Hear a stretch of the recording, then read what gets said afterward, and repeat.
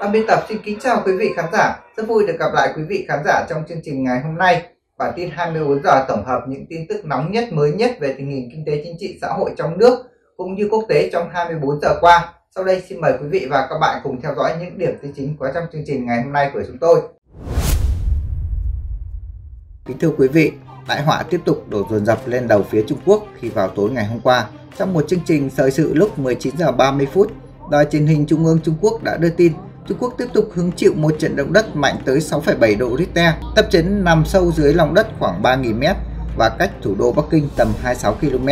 Trận động đất trên đã khiến cho những tòa nhà cao tầng ở thủ đô Bắc Kinh cùng nhiều thành phố lân cận rung lắc mạnh. Các đồ vật trong nhà bị xô đổ. Điện đường trường trạm cầu cống nơi sát với cả trận động đất trên đã bị vỡ nứt. Ngoài ra, trận động đất còn vùi lấp một căn cứ quân sự ở tỉnh Phúc Kiến. Đứng trước tình hình cấp bách và nguy hiểm kể trên, Trung tâm Cứu trợ Cứu nạn Khẩn cấp Trung Quốc đã điều động máy bay trực thăng cùng cảnh sát cơ động và đội tìm kiếm cứu nạn chuyên nghiệp đang tiến hành đào bới đống đổ nát để tìm kiếm những người mắc kẹt và mất tích. Thiệt hại ban đầu ước tính khoảng 860 triệu nhân dân tệ. Theo những hình ảnh và những đoạn clip mà đài truyền hình Trung ương Trung Quốc CCTV tối ngày hôm qua cho biết, có tới 300 ngôi nhà bị đánh sập và bị vùi lấp, 4 tuyến đê bao dọc sông Hoàng Hà, sông Mê Công và sông Tử bị vỡ, cộng thêm những trận mưa to đến rất to không ngừng chút xuống hàng triệu tấn nước từ trên trời đổ xuống Bắc Kinh cùng quảng trường Thiên An Môn và những thành phố khác làm cho cảnh ngập lụt như ngày tận thế. Tuy nhiên, theo Trung tâm Dự báo Khí tượng Thủy văn Nhà nước Trung ương Trung Quốc, từ nay cho đến hết tháng 9, mặt trời sẽ không xuất hiện ở thủ đô Bắc Kinh và nhiều tỉnh thành khác. Trung Quốc vẫn tiếp tục hứng chịu những trận mưa lũ sấm sét, vòi rồng, vỡ đê, vỡ đập và động đất kinh hoàng bởi vì thời tiết cực xấu và cực đoan đang có những diễn biến hết sức phức tạp. Trung Quốc chưa một năm nào họ thấy thời tiết lại bất thường như năm nay. Trung tâm dự báo cảnh báo sóng thần động đất của quốc gia Trung Quốc nói rằng các cơ quan chức năng cùng người dân phải hết sức lưu ý cũng như cảnh giác cao độ đối với con đập Tam Hiệp vì nhiều khả năng nó sẽ không chịu được áp lực bởi những trận mưa lũ trong suốt những thời gian vừa qua không có dấu hiệu chấm dứt. Nếu như tình trạng này còn kéo dài thì rất có thể con đập Tam Hiệp lớn nhất của phía Trung Quốc sẽ bị vỡ và khi nó vỡ, một thảm họa kinh hoàng chắc chắn sẽ xảy ra. Thế giới sẽ được chứng kiến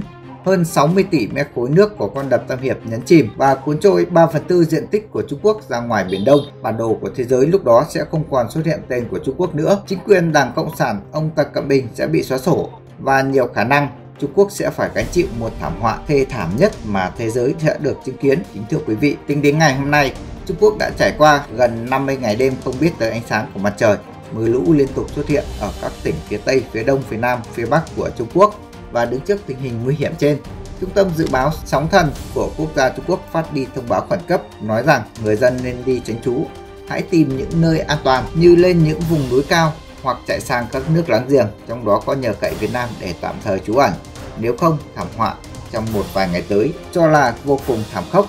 bởi vì trên đảo Hải Nam, ngoài khơi Biển Đông của phía Trung Quốc đang xuất hiện một cơn bão siêu lớn giật trên cấp 17. Trung tâm Dự báo Khí tượng Thủy văn của Hoa Kỳ cho biết hiện cơn bão đang có tốc độ di chuyển rất nhanh với tốc độ di chuyển lên tới 80 km/h. Tâm bão giật cấp 17. Hiện nó đang càn quét ở ngoài Biển Đông. Sóng to gió lớn đang cao ngất trời và nó đang đánh sập hai con tàu hải cảnh phía Trung Quốc xa phẳng một hòn đảo nhân tạo mà Bắc Kinh mất bao nhiêu công sức bồi đắp ở trái phép ở ngoài Biển Đông. Hiện cơn bão đang di chuyển theo hướng Tây Tây Bắc, mỗi giờ đi được khoảng 50 km. Tâm bão đang xuyên thẳng vào tỉnh Quảng Đông, sau đó sang tỉnh Quảng Tây và đi tiếp vào thủ đô Bắc Kinh. Sau đó, nó lan ra thành phố Vũ Hán, Tứ Xuyên, Vân Nam và Hồ Bắc.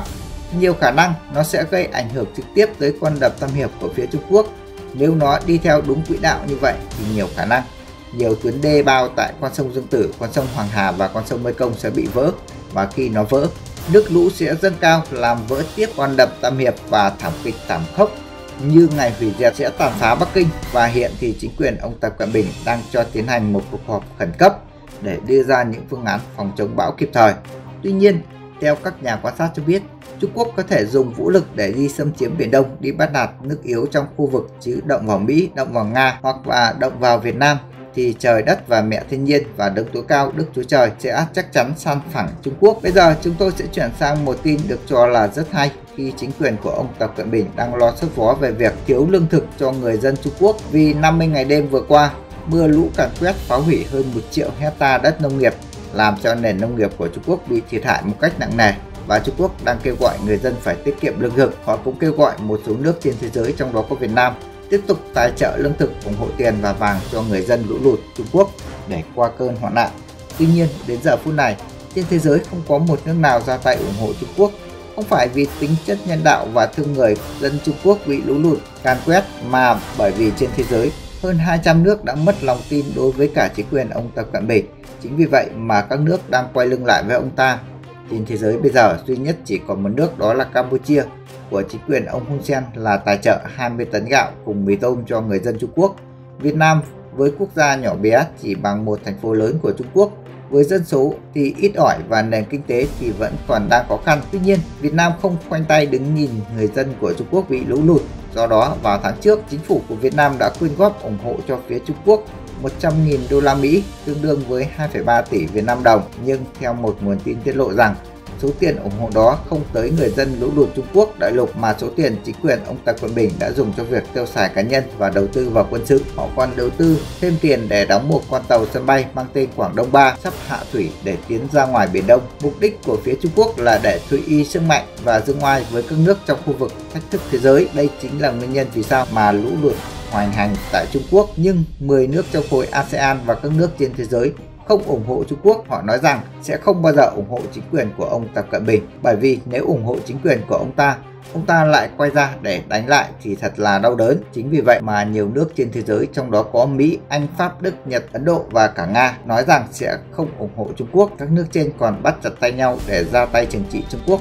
cô lập chính quyền ông Tập Cận Bình và trừ khử Bắc Kinh bởi vì Trung Quốc chính là mối nguy hiểm cho toàn thế giới và phải trừng trị Bắc Kinh thì thế giới mới được bình yên. Thưa quý vị, có một cái tin được cho là khá xấu hay còn gọi là tin buồn đối với phía Trung Quốc. Hôm qua, tờ báo China Morning Post cho biết đập tâm hiệp của phía Trung Quốc gần như sắp bị vỡ bởi vì đỉnh lũ liên tục xuất hiện và vượt báo động đỏ. Tờ báo của phía Trung Quốc cho biết vào 8 giờ sáng ngày hôm qua theo giờ địa phương, đập Tâm Hiệp đã đạt đỉnh lũ lớn nhất kể từ khi nó được xây dựng đến bây giờ và lưu lượng dòng chảy đạt tới 75.000 mét khối trên giây. Đây được cho là đỉnh lũ cao nhất trong lịch sử của Trung Quốc theo thời báo Hoàn Cầu khi 15 cửa xả của hồ chứa Tam Hiệp được mở 24 trên 24 giờ nhưng vẫn chưa ăn thua gì so với lũ ở thượng nguồn đang dồn dập đổ về. Tính tới sáng ngày hôm qua, mực nước tại hồ chứa Tam Hiệp đã lên con số 65 tỷ mét khối nước và nếu như hồ chứa này vỡ, nó sẽ nhấn chìm toàn bộ Trung Quốc ra ngoài Biển Đông và đây chính là một cái tin được cho là rất xấu đối với cả chính quyền ông Tập Cận Bình. Tờ báo của Trung Quốc còn cho biết bất chấp việc đập Tam Hiệp đạt đỉnh lũ lớn nhất trong lịch sử từ khi nó được xây dựng đến bây giờ,